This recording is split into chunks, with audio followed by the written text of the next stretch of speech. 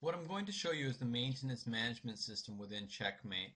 what this allows you to do is batch your maintenance so that you're conducting your maintenance in an efficient manner.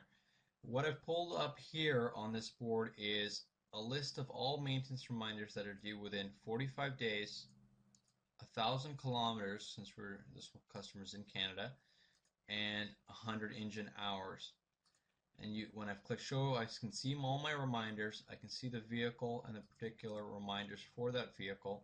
If I click on a particular reminder and look at the history or if I want to uh, mark that this rem reminder has been completed I'd click on here view history. And I can see the actual history of this reminder for this vehicle and what I would then do is just add an event to mark that I've completed this, uh, this reminder. So I just click add and update the time period of when the reminder was done. Suppose it was done yesterday.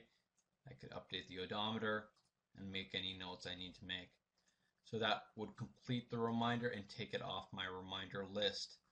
Uh, another thing, what we'd like to learn is how to set up our reminders. You just click setup and it's, it's fairly straightforward you just add a new reminder, put in your parameters on when how long, often the reminder would be done, and you'd add that vehicle, add a vehicle to that particular reminder. So we got a tire change, so we want to add, let's suppose we want to add another vehicle to that tire change.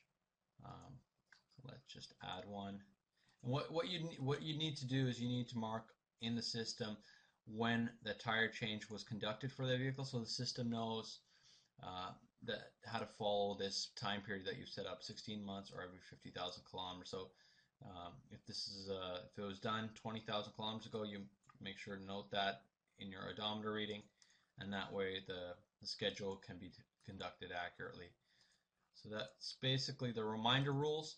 Um, another extension to this and it's important to look at is the engine faults which we'll discuss